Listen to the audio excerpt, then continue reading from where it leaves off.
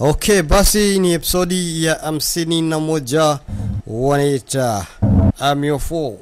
hamsini na moja tunasonga mbele zaidi. Yes, lile jabali la ukweli. e, pale tulipoishia hapo tunaanza napo. e, wiki hakuna matangazo matangazo. Yes, yes. Nam nam. Kaulingo. Yes. Jamaa mchezo mchezo. Haha. Alimbutua. Safi sana jamaa, alimpigia makofi. Liu Chuchang asema unaonekana uko vizuri sana yani. Fu Jianchang uko poa, e, sio mbaya sana mm -mm. Qin ta unajiweza oba, hiyo iko vizuri. Walichukia sana Kumbuka hao nao pia na mipango yao. Kumbuka pia Japani na mipango yao ambaye ni mizito mno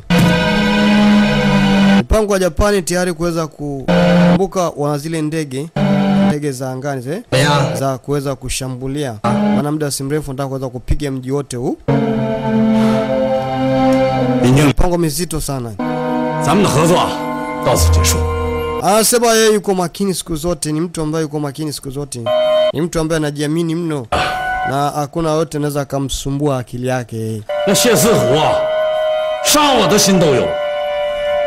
刘处长，谢四虎升官 Huyu anamwita eh, mheshimiwa eh, Zhangli General huyu 是你自己， eh, katika kitengo kita KMT walovua eh, shati huyo anavaa 处长， eh, bukta nyekundu. 你就不怕 Eh, kumbuka na hawa pia na hawa wana mipango yao hasa, na kila mmoja na mipango yake hasa katika mikakati yake kwa namna moja ama nyingine. Watu wamejipanga mno na wanajiamini mno, na huyu jamaa anajiamini. Zhangli ni mtu anajiamini mno, nawezi kumwambia lolote lile, alafu ana kiburi mno. Ama iko siku moja nitaweza kufahamu kuhusiana na mipango yako na siri zako wewe ambazo unazificha, ambazo mtu yote hajazijua, lakini kwa siku moja tu nitafahamu kuhusiana na mipango yako, japokuwa na hii dojo na mipango yako mingine ambayo unaweza kuificha. Iko siku moja nitaweza kuifahamu tu, nitakuonyesha. Basi kabidi asepe namna hiyo. Lazima mtu kama vile anakutishia, sema ah Tulia kwanza. Siku zote mtu ambaye anajifanya anajua, inabidi uweze kunyamaza kwanza, ili uweze kufahamu anataka kufanya kitu gani hasa. E, kwa hiyo tumwache kwanza, tutulie kwanza, ajua kitu cha kufanya. Hawezi kuumiza akili yangu mimi, hawezi kuumiza akili yangu kabisa hadi. E, kwa hiyo usiogope, huyo hawezi kuninyongorota akili. Mm. Tajua namna ya kuweza kudili naye.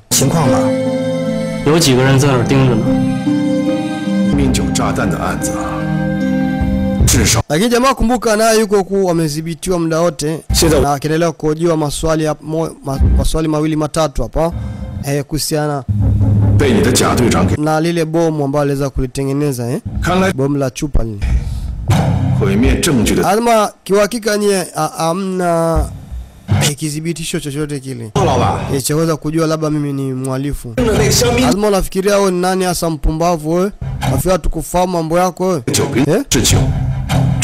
sawa, mnafahamu mambo yangu, lakini vipi kuhusiana na kidhibiti? Je, mnakidhibiti chochote kile kitu? Kisichoweza kunishtaki mimi, au labda mimi ni mtu mbaya, na nafanya watu ambavyo ni vibaya eh? Labda kama mimi nimeweza kusika na mauaji ya mtu gani na gani, je, mna mnakizibitisho chochote kile? Basi. Au mna mnakizibitisho chochote kile, basi. Mimi ni mtu ambaye sina makosa yote, inabidi pia muweze kuniachia.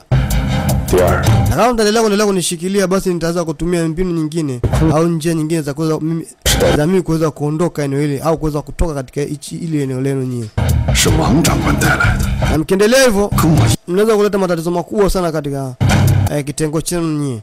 Lazima unafikiria ni nani? Unafikiria unakuogopa? Hem, tulia kwanza. Sikiliza mzuka kijana. Aonekana na mzuka mwingi.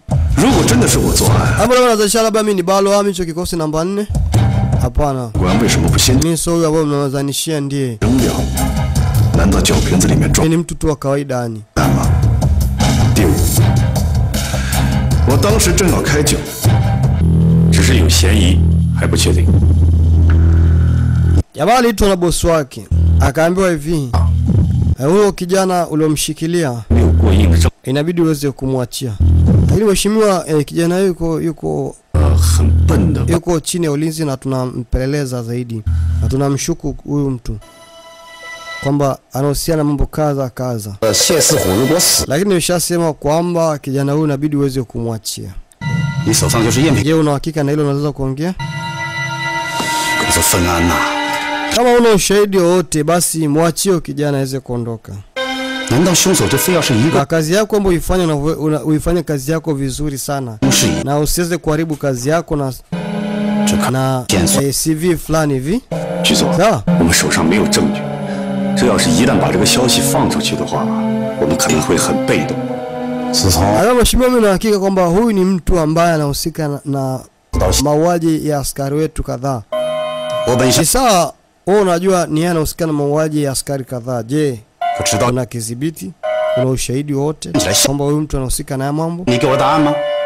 属下失职， Basi fanya kitu kimoja, mwachilie.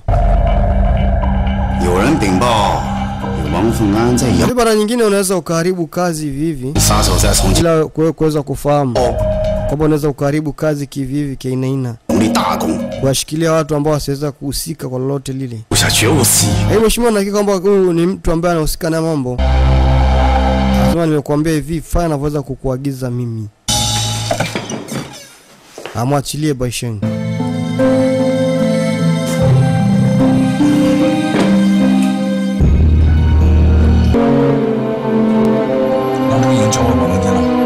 Anasema bosi ameniambia niweze kumwachilia huyu mtu. Kweli Bashenge aliweza kuachiwa, aliachiwa huru salama salimini, kwamba yeye ahusiki naye mambo. Hapana, wako ambao wanahusika na ushahidi wa kuweza kuwa na ushahidi wa kujitosheleza. E, Spider naye alikuwepo hapa kuja kumpokea msh, e, e, mchizi wake. E, vipi jamangu, fresh, uko poa? 又花费了你一根金条吧？咱俩可是兄弟， Eh, nadhani uko poa jabangu, inabidi tuweze kuondoka eneo hili. 你肯定以后还有事。 Lazima kwa umeamua kuja hapa kuja kunipokea au vipi? Asema ndo hivyo. 他亲自去王凤安那儿给你求的情， 他去求 Mimi sio mtu mbaya kwa upande wako wewe. 验点儿好吧， Nimekuja kukupokea kama vile rafiki yangu, ndugu yangu wa karibu. Kwa hiyo 也就是 labda usizanishie basi vibaya. 你就没去找他？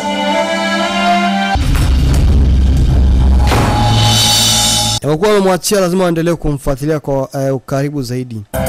Eh, e, Bashang akiwa zake huko, kuna mambo kadha kadha ambayo alikuwa akiyakumbuka. E, pia kuhusiana na bibi yule e, yule mwandishi wa habari na mama.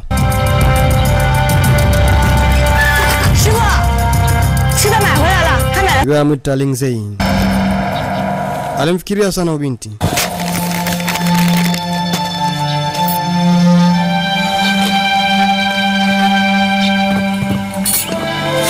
Vyema.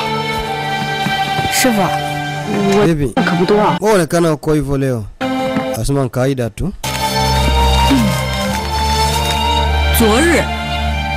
Fulani ambazo zilikuwa zikiandikwa katika magazeti. Keki. Nasema acha kwanza bana. Eh, kwani kuna shida gani? Eh? Muga binti wakati wote alikuwa akiomba mheshimiwa Bashenge ikiwezekana pia aweze kumfundisha namna ya kuweza kulenga shabaha.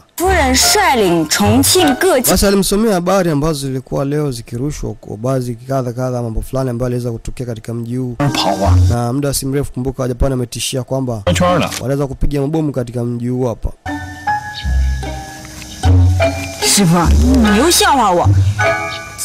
Wakati mwingine unakuwa ni mtu ambaye kama vile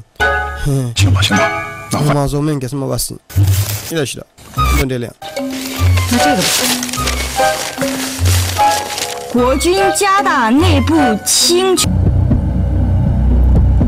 habari ambayo binti aliweza kuisoma ni habari kuhusiana na yule e, daktari ambaye aliweza kuuawa. Alikuwa ni daktari wa, uh, wa mheshimiwa yule ambaye anamiliki ile, ile dojo. Mambo. Basi kabidi jamaa aweze kuongea na bibia, ikiwezekana waende kule hospitalini ili waweze kufahamu hasa aweze kuulizia, lakini kumbuka hospitalini pia wako wale maspai. Maspai ni wengi katika hospitali hapa. Basi binti alikuwa akichunguza odi moja baada ya nyingine. Haikumbuka wako maspai hapa wa kutosha, wameweza kuwekwa hapa kwamba mtu yote atakayemuulizia mtu fulani, basi huyo mtu aweze kubananishwa. Lakini Baishang alishafahamu kila kitu kwamba watakuwepo tu ni mashushushu. Kwa hiyo nachotaka nataka kuweza kupata habari tu kwa yote ambaye atakaweza kumbananisha hapa, ili kila kitu kiwe fresh kwa upande wake. Alimuuliza huyu daktari ambaye ni daktari wa kijeshi msonyebuta ambao alikuwa akimulizia eh, binti fulani ambaye ni daktari, lakini jamaa baada ya hapo kusikia lile jina la ule bibi ikabidi atoke na mnene haraka haraka eh, kuwafuata wale watu ambao hawa ni maspai. Mashenga alikuwa akiona daktari alivyotoka, kwa hiyo akafahamu fika kwamba huyu ndo wale wale walikunywa uji wa mgonjwa, alafu mgonjwa akawa amekufa. Eh. Akawaita vijana wa kazi. Na binti mmoja inabidi wamfukuzie tuliweza kumbananisha haraka zinazo, lakini Baishen aishafahamu kila kitu. Nichekeshe mambo, nichekeshe mziki huyu jamaa, mziki wake so wa kitoto toto. Binti akaambiwa we nani, tulia hapo hapo kitu kitu fulani alikuwa akikiulizia hapa. Yaani mi sina shida yoyote. Ghafla cheki mambo yake wewe, hey, waliguswa dakika sifuri tu ameshazima. Lazima inabidi tuweze kuondoka hapa haraka kanavyo Watu hao wataongezeka muda si mrefu. M20. Baishen. Yes, ni kweli waliongezeka. Inatoka sasa, binti wenyewe ndio huyo hapo. Mkamate, mkamate, mkamate. Wewe mkamate, mkamate. Lakini Baishen anamtaka huyu huyu huyu huyu daktari, ndo anamtaka huyu, anamwambia ukweli tu. Anaingia huku, wananishwa. Oya, sema ya nani hao ambao wanahusika na mambo? Niambie. Ili jamaa aseme kila kitu. Wapi? Akamwelewesha kila mahali. E, hiyo e, sehemu ni wapi hasa na nani ambao wanahusika na mambo? Ambao wamekaa vitu kama hivi. Ni hao askari wa KMT. Wanahusika na mambo kadha kadha. Mipango wao ndio wameweza kuipanga wao. Si. Jamaa alikumbuka uh, alimkumbuka yule binti bibi ambaye ni daktari ambaye aliweza kuuawa. Na akamkumbuka na yule mtu ambaye eh, ambaye anamiliki ile dojo. Eh, kwa hiyo akawa amefahamu kitu fulani. Binti anafukuzwa aje hapo nyuma, mzee baba. Sei jamaa anakuja ni we. Hey, sei. Toa baro bibie, iko mtu tatu ndani ya truck moko, wanakujaje? Baishani kuchungulia dirishani akaona binti yule anafukuzwa kinyama. Sasa kuaje? Ni kutoka haraka zikanavyo kwenda kumsaidia bibi. Bibi yuko hatarini, maisha yake yako hatarini. Say, yes, binti anasepeka mzee baba. Ha? Wewe simama binti wewe. Simama hapo. Simama. Upiga risasi simama. Eh. Ah. Wewe. Mama Mungu nisaidie nisaidie. Piga chuma. Hey. Tena kwa bari sasa. Nisaidie kama vile shauri msoka. Eh binti ya. Gao pumbavu. Nisaidie kama vile shauri msoka. Eh. Yes. Hapo. Ah. Bashing. Huyo hakuna. Huyo jamani hatari mno. Huyo ndo bashing. Mziki wake sio kitoto. Akiwa wawili. Huyo.